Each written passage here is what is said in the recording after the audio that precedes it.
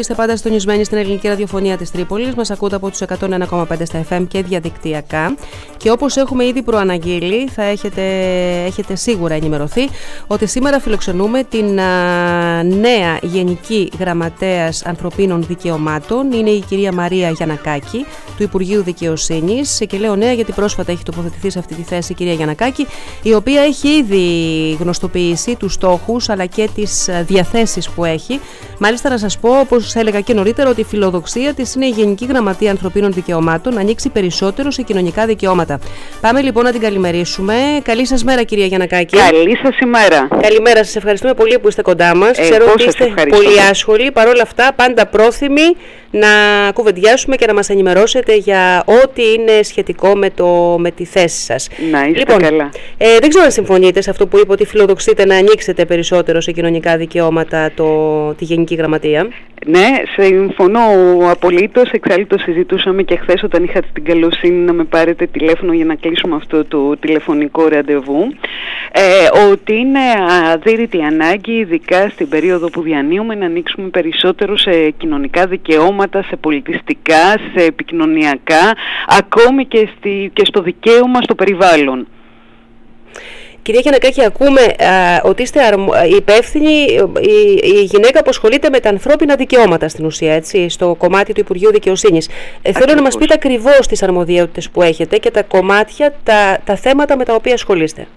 Ε, κοιτάξτε, σε μια, όπως μου αρέσει να λέω, σε μια άλλη χώρα με μια πιο ήρεμη πολιτική ζωή, αυτή η Γενική Γραμματεία θα έπρεπε να έχει αρμοδιότητες οριζόντιες σε όλα τα Υπουργεία, γιατί ουσιαστικά στη βάση τους και στον πυρήνα τους τα πάντα είναι θέματα ανθρωπίνων δικαιωμάτων. Ε, από εκεί και πέρα βέβαια στην χρονική και πολιτική στιγμή την οποία διανύουμε. Ε, οι αρμοδιότητες μου είναι πάρα πολύ συγκεκριμένες και έχουν να κάνουν κυρίως ε, στο να δώσουμε ορατότητα σε ομάδες οι οποίες μέχρι τώρα ήταν στην τουλάπα, μειονοτικές, όπως είναι η LGBT κοινότητα. Ε, ο προκάτοχός μου, ο Κωστής ο Παπαϊωάννου, ξεκίνησε πέρσι με το Σύμφωνο Συμβίωσης, το οποίο ψηφίστηκε ε, τον Δεκέμβρη του 2015. Αυτή τη στιγμή έχουμε καταθέσει ως Γενική Γραμματεία και θα πάρει πάρα πολύ σύντομα τον ε, δρόμο για την ε, δημόσια διαβούλευση το νομοσχέδιο για την ε, νομική αναγνώριση της ταυτότητας που αφορά σε άτομα τα οποία αισθάνονται μια δυσφορία με το φύλλο το οποίο τους αποδόθηκε κατά τη γέννησή τους και οι οποίοι θα μπορούν να αυτοπροσδιορίζονται με μια δικαστική διαδικασία της εκούσιας δικαιοδοσίας. Δηλαδή όπως κάθε Έλληνας πολίτης ο οποίος επιθυμεί να αλλάξει το όνομά του χωρίς ε, να χρειάζεται να έχει υποβληθεί σε ορμονοθεραπεία, πόσο μάλλον σε ε, εγχείρηση επαναπροσδιορισμού ε, του φύλου. Αυτό είναι ένα νομοσχέδιο το οποίο έχει ήδη κατατεθεί εδώ και ένα μήνα, θα ανέβει πολύ σύντομα στη δημόσια διαβούλευση. Περιμένει να τελειώσει, πράγμα που θα γίνει μέσα σε αυτή την εβδομάδα, ο μηχανισμός παρακολούθησης του Εθνικού Σχεδίου Δράσης για το παιδί, προκειμένου να ανέβουν και τα δύο μαζί στη διαβούλευση και μετά να πάρουν το δρόμο για τη Βουλή. Περιμένετε να ανοίξουν πολλές συζητήσεις γύρω από το, γύρω από το θέμα αυτό που μας λέτε κυρία Γιανακάκη; Κοιτάξτε, ότι θα υπάρξουν αντιδράσεις θα υπάρξουν, ε, αλλά ως ε, κυβέρνηση και ως πολιτική ηγεσία έχουμε θέσει τους, έχουμε την, ε, την ατζέντα μας και δεν πρόκειται να υπαναχωρήσουμε ε, σε οποιασδήποτε αντιδράσεις οι οποίες ανήκουν σε κύκλους σκοταδιστικούς και σε ανθρώπους οι οποίοι δεν, δεν μπορούν να καταλάβουν ότι η κοινωνία έχει αλλάξει και ότι δεν μπορεί να υπάρχουν ακόμη συμπολίτες μας οι οποίοι να ντρέπονται να δείξουν την ταυτότητά τους. Αυτό δεν προσωμιάζει σε ένα κράτος δικαίου και στην κοινωνία του 2017. Μάλιστα. Ένα μεγάλο θέμα. Θα έχουμε βέβαια την ευκαιρία να το ξανασυζητήσουμε. Πραγματικά είναι μια σημαντική έτσι, πρωτοβουλία και κάτι το οποίο, αν θέλετε και τη δική μου άποψη, αν μπορώ να την εκφράσω, θα έπρεπε να έχει γίνει εδώ και πάρα πολλά χρόνια. Συμφ, συμφωνώ απολύτως. Είναι αυτό που μου αρέσει να λέω ότι βγάζουμε συμπολίτες μας, Έλληνες φορολογούμενους πολίτες, ε, από το ντουλάπι, οι οποίοι δεν μπορούσαν να έρθουν σε επαφή με καμιά δημόσια αρχή, γιατί η ταυτότητά τους δεν είχε καμία σχέση με αυτό που, έβλεπα, που βλέπουμε μπροστά μας. Και στην κοινωνία του ο καθένας μπορεί να ζήσει με αξιοπρέπεια και πρέπει να ζει με αξιοπρέπεια τη ζωή που επιλέγει ο ίδιος. Ε, σας είπα ότι θα ανέβει μαζί με τον μηχανισμό παρακολούθησης για το Εθνικό Σχέδιο Δράσης για το Παιδί. Ναι. Αυτή είναι μια πολύ μεγάλη δράση η οποία είναι διυπουργική. Ε, δηλαδή έχουμε ζητήσει ως Γενική Γραμματεία από όλα τα Υπουργεία να μας καταθέσουν τις προτάσεις τους και τους στόχους τους που δεν θα είναι ένα φιλολογικό κείμενο, ε, γενικό και αόριστο. Κάθε Υπουργείο έχει πάρει ε, τις καταληκτικές παρατηρήσεις ε, που μας έκαναν τα Ηνωμένα Έθνη μετά την ε, υποβολή της περιοδικής έκθεσης ε, για την εφαρμογή της Διεθνούς Σύμβασης για τα δικαιώματα του παιδιού και καθορίζουν δύο-τρεις στόχους μετρήσιμους και χρονικά προσδιορισμένους πώς θα έρθουν να εξηγιάνουν τα κομμάτια που τα Ηνωμένα Έθνη μας υπέδειξαν ότι έχουμε πρόβλημα. αυτό λοιπόν είναι ένα ζήτημα το οποίο περιμένουμε να αγκαλιαστεί από όλες τις παρατάξεις της Βουλής. Είναι κάτι που λείπει από το ελληνικό σύστημα, ένα σαφές και χρονικά καθορισμένο πλαίσιο δράσης για το παιδί ε, και είναι ένας χώρος που αισιοδοξώ ότι δεν θα γίνει πεδίο μικροπολιτικής γιατί για το παιδί νομίζω ότι δεν, δεν χωράει κάτι Έτσι, τέτοιο. Δεν Η δική μας δράση, γιατί εκτός από συντονιστές, ε, συνεισφέρουμε και ως Υπουργείο και ως Γενική Γραμματεία σε αυτό το σχέδιο, είναι το σπίτι του παιδιού όπου είναι μέσα στο πλαίσιο της ε, δικαιοσύνης φιλικής, ε, φιλική για το παιδί. Είναι κάτι που έχει ξεκινήσει από τις Ηνωμένες Πολιτείες ήδη από το 1985. Στην Ευρώπη ήρθε το 1998 και δημιουργήθηκε το σπίτι του παιδιού πρώτη φορά ε, στο Reykjavik της Ισλανδίας ε, και αφορά στο παιδί ως μάρτυρα αλλά και ως θύμα κακοποίησης. Ε, ξέρετε, είναι πολύ σοκαριστικό να σκεφτεί κανείς ότι ένα παιδί το οποίο έχει κακοποιηθεί ε, από τη στιγμή που το γνωστοποιεί στις αρχές μέχρι να τελεσιδικήσει η υπόθεσή του, να φτάσει στο εφετείο και να τελειώσει, καταθέτει κατά μέσο όρο 17 φορές.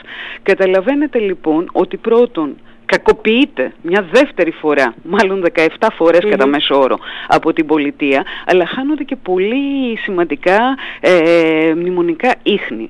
Δηλαδή ε, το παιδί μεγαλώνει, αλλάζει ο τρόπος που καταθέτει και αυτό δημιουργεί και δικονομικά προβλήματα γιατί πολλές φορές γίνεται αντικείμενο εκμετάλλευσης από την πλευρά του συνηγόρου του φερόμενου ως δράστη, ε, όπου βλέπουμε ότι πολλές φορές δεν φτάνει να καταδικαστεί αυτός ο άνθρωπος. Δηλαδή κύριε Γιανακάκη για να καταλάβουμε οι 17 φορές που καταθέτει το παιδί είναι μέσα στα, σε αρκετό μεγάλο χρονικό διάστημα έτσι, όχι ε, μέσα ναι, σε ένα χρόνο. Ε, έχω το παράδειγμα που μου έλεγε η εισαγγελέα του Αριού Πάγου ότι ένα κοριτσάκι 4 χρονών που είχε κακοποιηθεί σεξουαλικά από τον πατέρα του το ξανασυνάντησε όταν είχε γίνει 19 χρονών να καταθέτει στο εφετείο. Μάλιστα. Μέσα σε 15 χρόνια αυτό το παιδί είχε καταθέσει 17 φορές. Είχε κακοποιηθεί 17 φορές από την ίδια την πολιτεία. Είχε ξαναζήσει τον ίδιο εφιάλτη.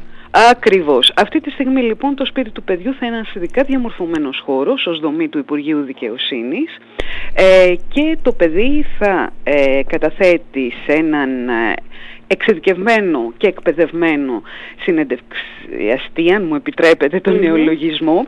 Ε, θα υπάρχει ένας διπλός καθρέφτης, πίσω από αυτόν τον καθρέφτη θα υπάρχει μια επιτροπή από ειδικούς επιστήμονες, παιδοψυχολόγους, ψυχολόγους, κοινωνικούς λειτουργούς, εκπρόσωπο όπου απαιτείται από τη δικονομία του φερόμενου ως δράστη, θα βιντεοσκοπείτε και θα χρησιμοποιείτε αυτή η βιντεοσκοπημένη συνέντευξη όπου χρειαστεί. Μάλιστα. Μια πολύ απλή διαδικασία την οποία κανένας δεν την είχε σκεφτεί τόσα χρόνια, έτσι. Και η οποία υπάρχει σε όλη την Ευρώπη και μάλιστα στη γειτονική μας Τουρκία υπάρχει, έχει 10 τέτοια σπίτια του παιδιού. Άρα ουσιαστικά μιλάμε για έναν ολόκληρο μηχανισμό ο οποίος ε, στείνεται για πρώτη φορά στην Ελλάδα. Ε, αυτή η διαδικασία. Ακριβώς ε, αυτή η δομή θα δημιουργηθεί, ε, ε, έχουμε σκοπό να δημιουργηθεί τρεις τέτοιες δομές σε όλη την Ελλάδα, αλλά θα υπάρξουν και μικρότερες δομές οι οποίες θα στεγάζονται σε ειδικά κτίρια στις κατητόπου εισαγγελίες. Ξέρουμε που θα γίνουν αυτές οι δομές, κυρία Γιανακάκη, ή δεν είναι ακόμα ε, Σίγουρα θα γίνει μία στην Αθήνα. Στις άλλες δύο πόλεις που δεν έχουμε καταλήξει ακόμη, θα μου επιτρέψετε, είναι λίγο mm-hmm. πρόωρο αν το ανακοινώσω. Υπάρχουν, υπάρχουν διάφορες σκέψεις. Δεν θέλω όμως να, ε, να μην είμαι συνεπής σε αυτό που θα πω. Ε, ε, βρισκόμαστε σε άμεση συνεργασία και με την εισαγγελέα του Αρίου Πάγου, την κυρία Ξένη Δημητρίου, που είναι πάρα πολύ ευαίσθητη σε αυτά τα θέματα και είναι από αυτούς που έστησαν για πρώτη φορά την εισαγγελία ανήλικων το 1983 και με το συνήγορο του παιδιού, τον κύριο Μόσχο ε, και με το Ινστιτούτο Υγείας του παιδιού και με όλες τις εμπλεκόμενες δομές και είναι κάτι το οποίο προχωρά ε, πάρα πολύ γρήγορα, πράγμα που σημαίνει ότι δεν ήταν τόσο ζήτημα χρημάτων, γιατί όταν ε, το πρώτο ξεκίνησα όλοι μου έλεγαν θα χρειαστεί χρήματα κτλ. Όχι, δεν είναι τόσο ζήτημα χρημάτων, κυρίως είναι θέμα πολιτικής βούλησης και το να κατανοήσει κάποιος ότι αυτό είναι μια δομή που λείπει από το ελληνικό σύστημα. Mm-hmm. Μάλιστα, είναι πάρα πολύ σημαντικό όλο αυτό. Μακάρι το περιμένουμε πραγματικά να ξαναμιλήσουμε για το θέμα αυτό, να δούμε πώς εξελίσσεται. Όποτε θέλετε. Ε, ήθελα να κάνουμε και μια κουβέντα σχετικά με ένα ακόμα θέμα που διαβάζω εδώ σε παλιότερη συνέντευξή σας, ότι πρόκειται να κλείσει μέσα στο 2017. Είναι το θέμα με την επικύρωση της σύμβασης της Κωνσταντινούπολης που αφορά τη βία κατά των γυναικών αλλά και την ενδοοικογενειακή βία.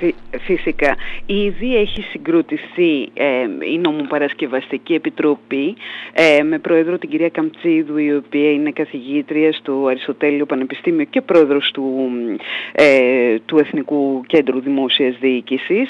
Ε, αυτό είναι ένα πολύ σπουδαίο κείμενο το οποίο υπεγράφει από τη χώρα μας το 2011 χωρίς ακόμη να έχει επικυρωθεί.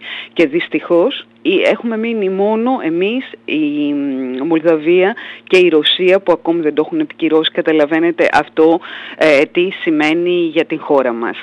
Ε, πρόκειται για το πιο πλήρες ε, κείμενο που ε, έχει που προσπαθεί να αντιμετωπίσει την ενδοοικογενειακή βία και τη βία κατά των γυναικών. Ε, και το ενδιαφέρον αυτού του κειμένου και η μοναδικότητά του ε, έγκυται στο γεγονός ότι αντιμετωπίζει τον θήτη ε, και ως ψυχικά ασθενή και προσπαθεί να τον θεραπεύσει έτσι ώστε να τον αποτρέψει από μελλοντικές τέτοιες ενέργειες και δράσεις. Όταν ε, ήμουν βουλευτής και μέλος τη κοινοβουλευτικής συνέλευσης, ήμουν και εκπρόσωπος ε, της ε, Βουλής των Ελλήνων στο Ευρωπαϊκό Δίκτυο Γυναικών και είχα σε πολλά τέτοια meetings που είχαν να κάνουν με την εφαρμογή της σύμβασης της Κωνσταντινούπολης. Και είχαμε, είχα συναντήσει άντρες οι οποίοι είχαν περάσει από αυτή τη διαδικασία, είχαν τιμωρηθεί αλλά και παράλληλα ε, είχαν λάβει αυτή την αγωγή και την ψυχολογική υποστήριξη που είναι αναγκαία έτσι ώστε να μην ε, επαναλάβουν αυτές τις παραβατικές και παράδεκτες πράξεις. Και τους θυμάμαι να κλαίνε και να λένε σας ευχαριστούμε πολύ γιατί μέσα από αυτή τη διαδικασία και την εφαρμογή αυτού του νομοθετικού πλαισίου ξανακερδίσαμε τη ζωή μας, ξανακερδίσαμε τα παιδιά μας, ξανακερδίσαμε το δικαίωμα να ελπίζουμε. Ε, Μ' ακούτε κύριε Γιανακάκη. Ναι, φυσικά ναι, πολύ καλά. Ε, θέλω να ρωτήσω το εξής. Από το όταν εφαρμοστεί αυτό, όταν επικυρωθεί ουσιαστικά, θα, θα έχουμε και μια σειρά αλλαγών και στον οικογενειακό κώδικα, έτσι; Θα επέλθει αυτό με τη... Αυτό είναι, αυτό ακόμη, είναι... ακόμη μια δράση. Ναι, βρισκόμαστε σε μια φάση αναδιαμόρφωσης ε, του ε, οικογενειακού δικαίου. Ξέρετε, η Ελλάδα ήταν μια από τις χώρες που το 1983 είχε πιθανόν το πιο προοδευτικό δίκαιο σε όλη την Ευρώπη. Έκτοτε έχουν γίνει πολλές προσπάθειες, αλλά τελικά κανείς δεν προχώρησε ε, στο να νομοθετήσει αλλαγές. Αυτή τη στιγμή είμαστε σε μια φάση αναδιαμόρφωσης ε, που το χρειάζεται πάρα πολύ η ελληνική κοινωνία γιατί μετά από 30 χρόνια έχουν αλλάξει πάρα πολλά πράγματα. Ε, και σίγουρα όλα είναι στο τραπέζι, όλα είναι υποσυζήτηση με την Νομοπαρασκευαστική Επιτροπή και βέβαια με τις πολιτικές οδηγίες και κατευθύνσεις που δίνονται. Μάλιστα, είναι πολλά σημαντικά θέματα τα οποία νομίζω ότι θα αλλάξουν ε, κατά πολύ έτσι, τη ζωή γενικότερα. Ε, έχετε μεγάλη εμπειρία σε όλα αυτά και μακάρι να γίνουν όλα πραγματικότητα και να μπορέσουμε να τα αντιμετωπίσουμε. Ναι, και κυρίως ε, έχω βρει ένα έργο πάρα πολύ σημαντικό από τον προκατοχό μου, τον Κωστή τον Παπαϊωάννου και έχω και πολύ άξιους συνεργάτες. Αυτό είναι βασικό και πραγματικά είναι σημαντικό που το λέτε, ακόμα πιο σημαντικό που το λέτε, γιατί ε, η, ομα, η ομαδική εργασία πάντα και η σωστή, έτσι, αν θέλετε, αντιμετώπιση των πραγμάτων μέσα από ομάδα είναι ε, καλά. Εξάλλου λέμε ότι τα δύο μυαλά είναι πολύ καλύτερα πολλές φορές από ένα, πόσο ακόμα όταν είναι περισσότερα. Χωρίς συνεργασία δεν γίνεται τίποτα. Βέβαια, Ο άνθρωπος πρέπει να εμπνέει, αλλά και να εμπνέεται ταυτόχρονα. Εγώ θέλω να πω, γιατί παρέλειψα να το πω στην αρχή, ότι έχετε μεγάλη εμπειρία από τέτοιου είδους θέματα, όπως μας είπατε. Έχετε βεβαίως και είχατε, ε, ήσασταν βουλευτής, ε, είσαστε βουλευτής με την ε, Δημοκρατική Αριστερά, αλλά έχετε και πολύ μεγάλη εμπειρία σε θέματα ανθρωπίνων δικαιωμάτων, άμυνας και εξωτερικής πολιτικής, που νομίζω ότι αυτό είναι ένα καλό εφόδιο για τη θέση που βρίσκεστε σήμερα, κυρία Γιανακάκη. Σας ευχαριστώ πολύ. Να σας ευχαριστήσουμε. Χάρηκα πολύ που τα είπαμε. Καλή σας Θα είμαστε στη διάθεσή σας, έτσι οτιδήποτε να μπορούμε να το συζητάμε. Με πολύ μεγάλη χαρά. Καλή σας ημέρα. Σας ευχαριστώ πολύ. Καλή σας μέρα. Σας ευχαριστούμε για τον χρόνο που μας διαθέσατε. Γεια σας.